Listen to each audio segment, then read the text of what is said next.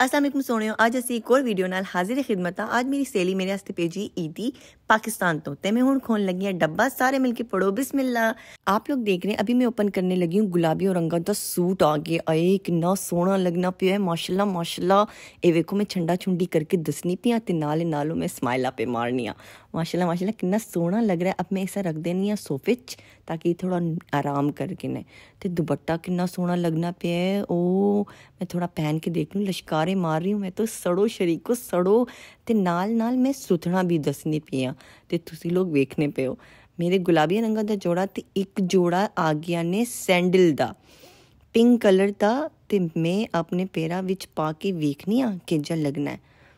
ਆਏ, ਮੈਂ ਪਾਇਆ ਪੈਰਾਂ ਵਿੱਚ, ਮਾਂ ਸਦਕੇ ਦੁਸ਼ਮਨ ਜ਼ੇਰ ਹੋਵੇ, ਕਿੰਨੀ ਮੈਂ ਸੋਹਣੀ ਲੱਗਣੀ ਪਿਆ ਪਿੰਕੀ ਪਿੰਕੀ ਸੈਂਡਲ, ਨਾਲੋ ਨਾਲ, ਆਏ ਹਾਏ ਆਲੋ ਨਾਲ ਮੈਂ ਦਸਨੀਆਂ ਚੂੜੀਆਂ। ਇਹ ਆ ਗਈ ਪਿੰਕ ਕਲਰ ਦੀ ਚੂੜੀਆਂ ਤੇ ਇਹ ਆ ਗਈਆਂ ਪੀਲੀ ਰੰਗ ਦੀ ਚੂੜੀਆਂ। ਇਹ ਆ ਗਈਆਂ ਦੋ ਸੈੱਟ ਤੇ ਹੁਣ ਮੈਂ ਰੱਖਣੀ ਪਈਆਂ ਇਹਨਾਂ ਨੂੰ ਸਾਈਡ ਤੇ ਤੇ ਹੁਣ ਅਸੀਂ ਨਿਕਾਲਾਂਗੇ ਸੈਕਿੰਡ ਜੋੜਾ।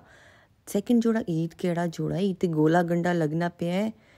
ਮਾਸ਼ਾਅੱਲਾ ਮਾਸ਼ਾਅੱਲਾ, ਇਹ ਦੂਆ ਜੋੜਾ ਵੀ ਬਹੁਤ ਸੋਹਣਾ ਲੱਗਣਾ ਪਿਆ ਇੰਜ ਲੱਗਣਾ ਪਿਆ ਜਿਵੇਂ ਗੋਲਾ ਗੰਡਾ ਹੈ। ਠੀਕ ਹੈ, ਇਸਾ ਵੀ ਅਸੀਂ ਥੋੜਾ ਸੋਫੇ 'ਚ ਰੱਖਦੇ ਵਾਂ ਤਾਂ ਕਿ ਇਹ ਵੀ ਥੋੜਾ ਆਰਾਮ ਕਰ ਲਵੇ।